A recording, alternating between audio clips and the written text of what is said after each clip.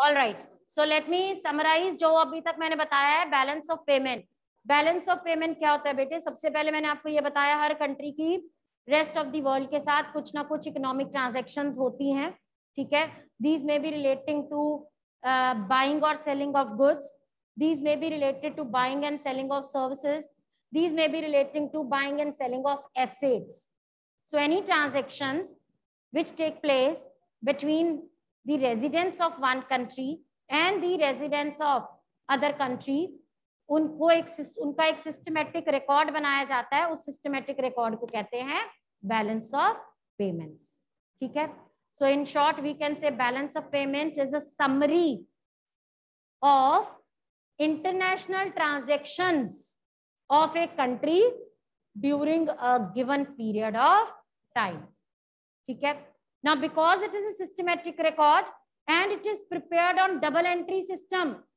you being commerce students you know what is double entry system?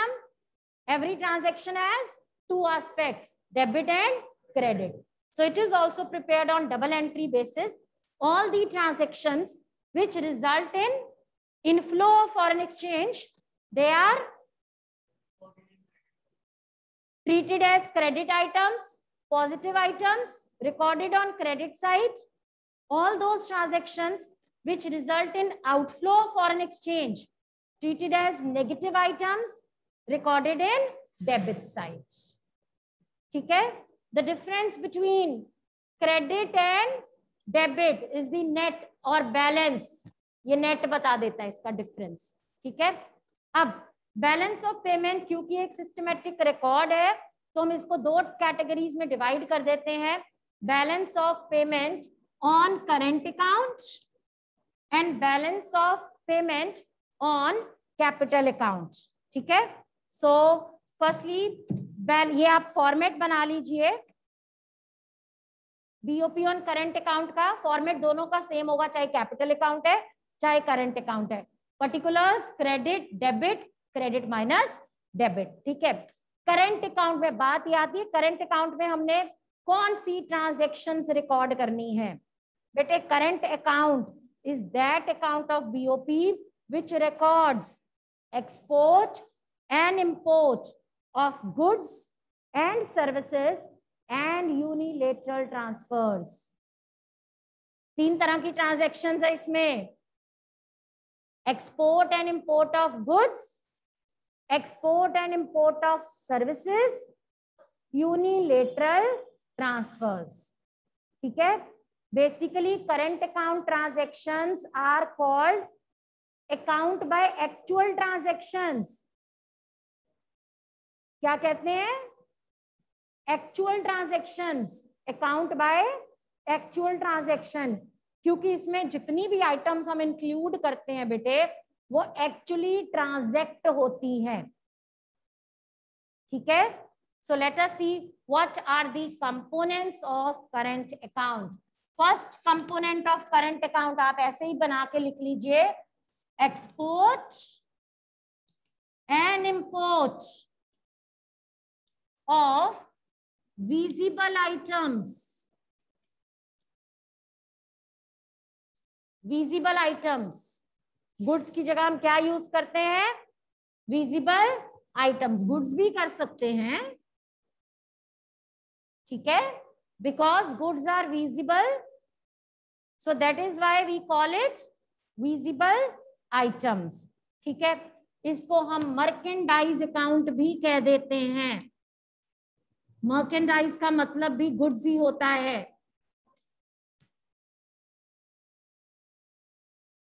Now export of goods result in inflow of for exchange so it will be recorded in credit side वो transactions be attentive जब हम goods को export करते हैं तो हमारे पास foreign exchange आती है इनफ्लो होता है inflow is recorded in credit Saint receipts है सिंपल सी बात है। Whereas import of goods result in outflow of foreign exchange. Huh? Bete import of goods result in outflow of foreign exchange. So it will be recorded in debit side. The difference between export of goods and import of goods is known as balance of trade.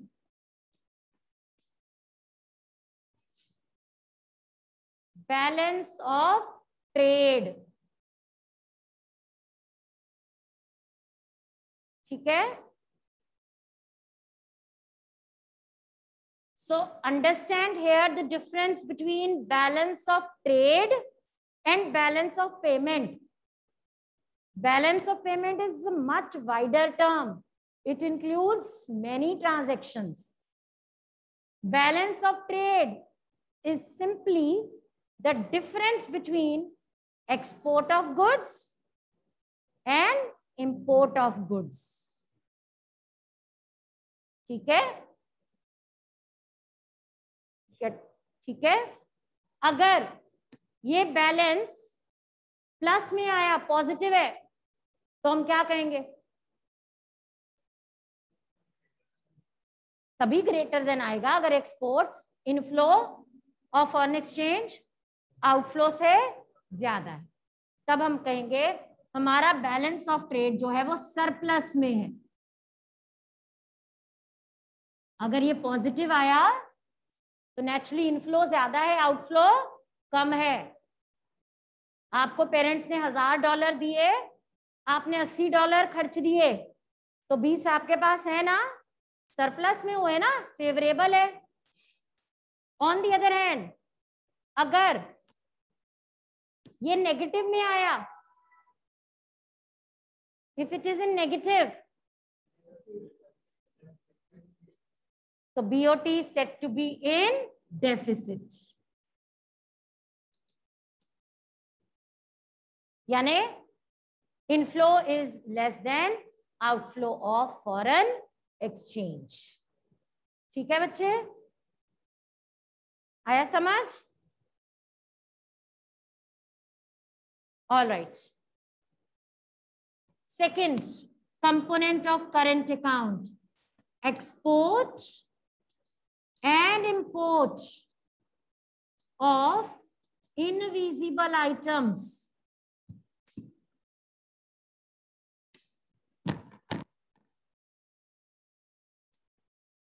Export and import of invisible item. What are invisible item? Services. ठीक है अगर हम चले जाएँ पचास, साठ साल पहले तो सर्विसेज़ का ज़्यादा एक्सपोर्ट इंपोर्ट नहीं होता था इंडिपेंडेंस के टाइम तो बिल्कुल ना के बराबर था फिर भी कुछ आइटम्स होती थी शिपिंग शिपिंग भी एक सर्विस है तो क्योंकि गुड्स एक्सपोर्ट इंपोर्ट होते थे तो उसके लिए शिपिंग तो ज़रूरी थी। तो शिपिंग सर्विस थी तो वो भी एक्सपोर्ट और इम्पोर्ट होती थी। लेकिन 1991 के बाद जब से हमारी कंट्री ग्लोबलाइज हुई है, तब से सर्विसेज़ का एक्सपोर्ट और इम्पोर्ट बहुत ज़्यादा बढ़ गया है। Now this is an important component of balance of payment export and import of invisible items और सर्विसेज़ सर्विसेज़ को बेटे हम दो कैटेगरीज में क्लासिफाई कर देते हैं। Factor services non factor services चाहे फैक्टर सर्विस हो, चाहे नॉन फैक्टर सर्विस हो, उससे पहले आपको यह पता होना चाहिए, जब आप सर्विसेज़ एक्सपोर्ट करते हो it result in inflow it result in Inflow of foreign exchange so it will be recorded in credit side if you import services it will result in outflow of foreign exchange. So it will be recorded in debit side. Can you give me any example of export or import of services? एक तो मैंने अभी आपको दी बेटे shipping transportation दी ना, इसके अलावा think about it banking yes insurance yes और कोई सर्विस नहीं आपको याद आ रही? आप में से किसी का कोई कज़न वगैरह, कोई एमएनसी में काम करता है? हैं? ओके वेयर हाउसिंग तो बेसिकली इंपोर्ट एक्सपोर्ट में नहीं हेल्प होता। चलो, मैं बताती हूँ आपको। नॉन फैक्टर सर्विसेज़ की मेरे पास काफ़ी एग्जांपल्स आ गई। बैंकिंग इंश्योरेंस ट्रांसपोर्टेशन ठीक है? ये सब सर्विसेज़ एक्सपोर्ट इंपोर्ट होती हैं। ठीक है ना? जब आप शिप के थ्रू या एयर प्लेन के थ्रू गुड्स भेजते हो इंश्योर भी करवाने पड़ते हैं ट्रांसपोर्ट भी हो रहे हैं और बैंकिंग भी होती है क्योंकि क्रेडिट चाहिए होता है आपको। फैक्टर सर्विसेज़ एक इंडियन टीचर फॉरेन यूनिवर्सिटी में टीच कर रहा है इंडिया में बैठ के। Sitting in India you are teaching to the students of foreign university. This is what? Exporter service. Or we may have a memorandum of understanding with the foreign university, whereby the foreign professor will teach you. You are sitting here or in the comfort of your home. हमने आपको login ID दे दी। हमने उसको payment कर दी कि तूने हमारे बच्चों को ये लेक्चर देना है। हमारे बच्चों में से आर्टिफिशियल इंटेलिजेंस हमारे पास कोई अच्छा टीचर नहीं है। हमने फॉरेन यूनिवर्सिटी से हायर कर लिया। ठीक है? आपको ईमेल आईडी लॉगिन आईडी दे दिया सारा। यूज़र वर्ड आपने उसको लॉगिन करके लेक्चर सुन लिया, या यहाँ पर हमने अरेंज करा दिया। हमने उसको पेमेंट कर दी। This is what we are importing his service उसकी सर्विस खरीद रहे हैं ना? इंडिया से खरीद रहे हैं? कहाँ से खरीद रहे हैं? बाहर से। तो उसको क्या बोलेंगे? Import this is factor service ठीक है? बेटे, अगर आपके कोई भी ब्रदर वगैरह एमएनसीज में, कल आप कॉमर्स के स्टूडेंट्स हो, ठीक है, आप कहते हो, मेरे को डिलियट में काम करना है, बड़ी कंपनी है। उसमें आप क्या करोगे? उनके पास एमएनसीज के अकाउंट्स आते हैं, जो आप वेरीफाई करते हो। समझ गए? तो what are you doing you are importing services चाहे वो अकाउंटिंग सर्विस है आर्किटेक्चर हो आप आप टीचर हो, आप इंजीनियर हो, आप लॉयर हो कोई भी सर्विस इंपोर्ट हो जाती है एक्सपोर्ट भी हो जाती है। ठीक है? So such kind of services आप अपना लैंड रेंट पे दे रहे हो। चार सर्विस फैक्टर्स होते हैं ना बेटे। लैंड लेबर कैपिटल ऑन्टरप्रेन्योर तो आप इनमें से कोई भी सर्विस प्रोवाइड कर रहे हो एक्सपोर्ट या इंपोर्ट कर रहे हो, वो क्यों क्या हो गई? Factor service non factor services में क्या आया? Services like banking, insurance, transportation. So any kind of service, if you export, it results in bolo bete, inflow of foreign exchange. It will be recorded in mass pano. Mass pano pratham. And the import of services result in outflow of foreign so it will be recorded in debit side. These are the two components of current account. Let us come to the third component. Basically, current account में वो सारी transactions record होती हैं जो कि residents या government के liability या asset status को affect नहीं करती तो इनमें से कोई भी transaction आपने goods export किए आपके assets affect हुए नहीं हुए आपकी लाइबिलिटी इफ़ेक्ट हुई? नहीं हुई। ये आपने उनको बेचे, उन्होंने कैश दे दिया। दैट्स इट ठीक है? तो ऐसी तीसरी ट्रांजैक्शन है यूनिलेटरल ट्रांसफर्स यूनिलेटरल यूनि का मतलब आपको पता है? क्या होता है यूनिलेटरल बोलो। यूनिलेटरल का मतलब क्या? हाँ? Anyone bete one sided one sided transaction. मतलब इन यस वन साइडेड इसमें ये वन साइडेड थी। गुड्स दिए कैश आया। ये वन साइडेड थी? नहीं। अब हम बात करें वन साइड नहीं बेटे सर्विसेज़ दी कैश आया। ठीक है? ये वन साइडेड ट्रांजेक्शन है। Sided transaction are like gifts grants donations remittances ठीक है? आपके पेरेंट्स या आपका ब्रदर बाहर गया, आपको पैसे भेज रहा है रेमिट कर रहा है यहाँ से, वहाँ से। वन साइडेड आप, अगर आप को आ रहे हैं gifts grants donations remittances inflow है तो it will be recorded in credits और अगर आप दे रहे हो यूनिलेटरल ट्रांसफ़र पेमेंट है रिकॉर्डेड इन डेबिट्स अच्छा ये बात रहेगी हमारी।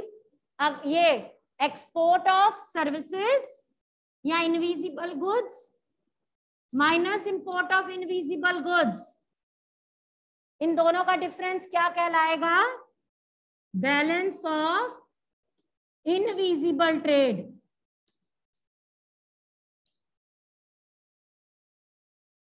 ठीक है?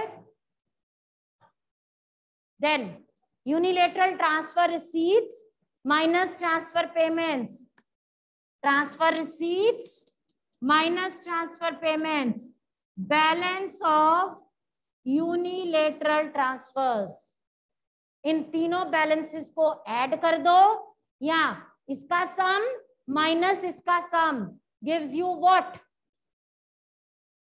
gives you what balance of payment on current account it gives you balance of payment on current account अगर ये बैलेंस पॉजिटिव आए तो इसके लिए हम एक टर्म यूज़ करते हैं जो कि आपको बुक्स में नहीं मिलेगी। बेटे रियल लाइफ और बुकिश नॉलेज में थोड़ा बहुत डिफरेंस रहता ही है। आपको पता ही है अकाउंट्स के स्टूडेंट हो, जो आप सीखते हो, वैसा प्रैक्टिकली आपने कुछ नहीं करना कल को। जिनके बिज़नेस है, उनको पता होगा, किताबें ऐसे नहीं बनती हैं, जो आप सीखते हो लेजर कैश बुक ऐसे नहीं बनती, जैसे थेरी में हम सीखते हैं। ठीक है? तो इसीलिए कुछ टर्म्स ऐसी हैं, जो आपको पता होनी चाहिए बुक्स में नहीं है। तो अगर करेंट अकाउंट सरप्लस में हो होगा इंडिया का आपको क्या लगता है? नहीं ना? लेकिन अगर हो तो उसको कहते हैं, हो भी सकता है we should be hopeful cash बता सकते हो इसकी full form any guess current account surplus और अगर ये डेफिसिट में हो कैड क्योंकि इंडिया का जनरली डेफिसिट में रहता है तो this term you will see much in newspapers current account deficit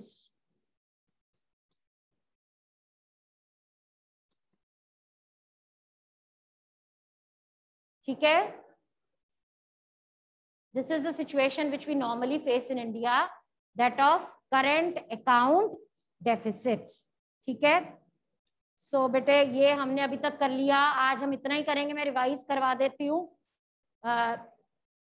BOP on current account It records all those transactions which do not affect asset or liability status of the residents or the government. अब आपको ये भी पता होना चाहिए ये जो transaction होती है एक कंट्री की दूसरी कंट्री के साथ वो क्या सिर्फ़ रेजिडेंट्स करते हैं? वो गवर्नमेंट भी करती है। गवर्नमेंट भी एक्सपोर्ट इंपोर्ट करती है स्पेशली यूनिलेटरल ट्रांसफर्स वाला जो है अकाउंट वो गवर्नमेंट की ट्रांजेक्शन ही होती मोस्टली ठीक है? अब पेट्रोल गवर्नमेंट इंपोर्ट करती है। ठीक है? तो काफ़ी चीज़ें गवर्नमेंट इंपोर्ट करती है एक्सपोर्ट करती है और रेजिडेंट्स प्राइवेट सेक्टर भी करता है। ठीक है? सो करंट अकाउंट में हम वो ट्रांजेक्शन लेते हैं जो कि गवर्नमेंट या रेजिडेंट्स के एसेट या लाइबिलिटी स्टेटस को अफेक्ट नहीं करती हैं। ये तीन कैटेगरीज में डिवाइड किए हैं हमने। Export and import of visible items export and import of invisible items unilateral transfers इन तीनों में अगर जो ऐसी ट्रांजेक्शन जो कि इनफ्लो करती है, उसको हम क्रेडिट साइड में रिकॉर्ड कर देते हैं। जो आउटफ्लो में रिज़ल्ट करती है उसको हम डेबिट आइटम में रिकॉर्ड कर देते हैं। दोनों का डिफरेंस दोनों के सम टोटल क्रेडिट ऐड कर दिया डेबिट ऐड कर दिया, इन दोनों का डिफरेंस ले लिया। This gives you BOP on current account which may be in surplus which may be in deficit ठीक है? So that's all for today anyone having any doubt you can ask marking scheme बेटे मैंने कल discuss कर ली थी right right?